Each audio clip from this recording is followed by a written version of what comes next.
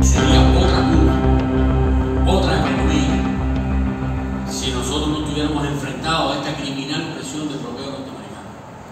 Eso hay que ratificarlo. El impacto del bloqueo económico sobre el país se calcula por metodología, esto no es abajo de los cubero. Hay una metodología que nosotros trabajamos con el Instituto Nacional de Investigación Económica en el país, que ya tenemos una experiencia en cómo hacer los cálculos del, daño del bloqueo y el último, el último año los cálculos dan que la afectación a la economía del país está en el entorno de los 5.500 millones de dólares. Y si cogemos los últimos cuatro años, estamos hablando de 17.000 millones de dólares. Eso está, si usted coge una calculadora y saca la cuenta, estamos hablando de entre 12 y 15 millones de dólares diarios de afectación económica por distintas vías.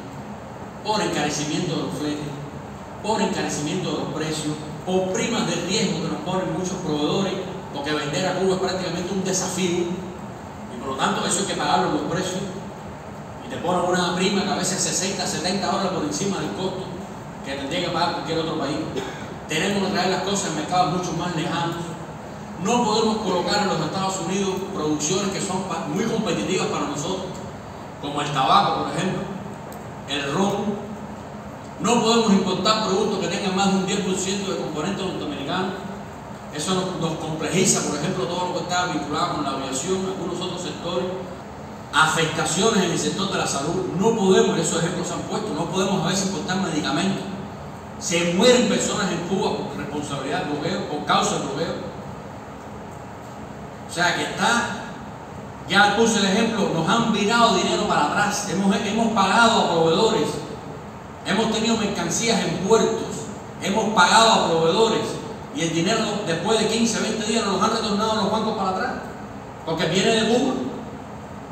Entonces los efectos, yo ratifico que sería otra economía, nosotros estaríamos trabajando, si estuviéramos trabajando en condiciones normales, no estamos aspirando a nada más que eso, condiciones normales, que permitan que este pueblo pueda trabajar en condiciones normales y desempeñarse una economía como casi en cualquier otro lugar del mundo.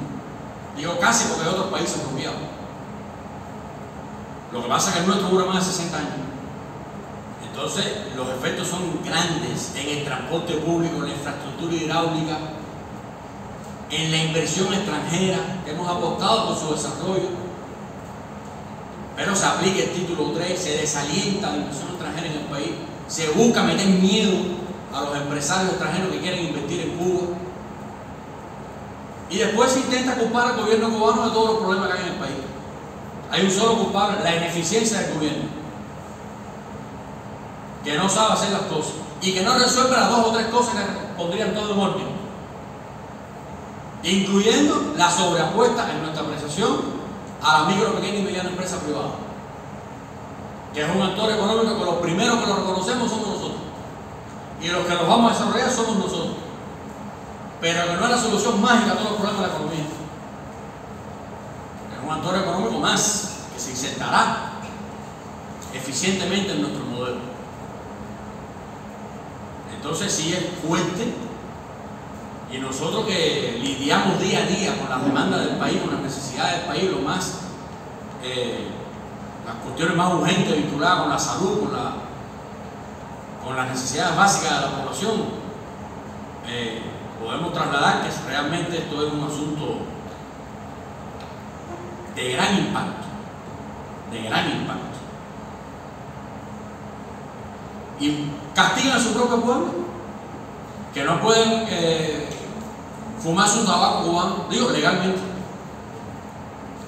ni tomarse un romo a Veracruz, legalmente lo castigan. Entonces, el bloqueo económico es, sin duda alguna, nuestro principal obstáculo. Está muy clara la política de aprovechar el escenario actual de la pandemia, aprovechar las condiciones económicas del país, aprovechar el, el impacto que hemos tenido en el turismo para arreciar el bloqueo y destruir la revolución. Está explícita esa política y hacer pasar al gobierno cubano como el responsable único de todos los males que hay en el país. Hemos reconocido nuestras deficiencias y las tenemos. Y estamos enfocados en resolverla. Pero es el bloqueo nuestro principal obstáculo para el desarrollo del sector estatal y no estatal.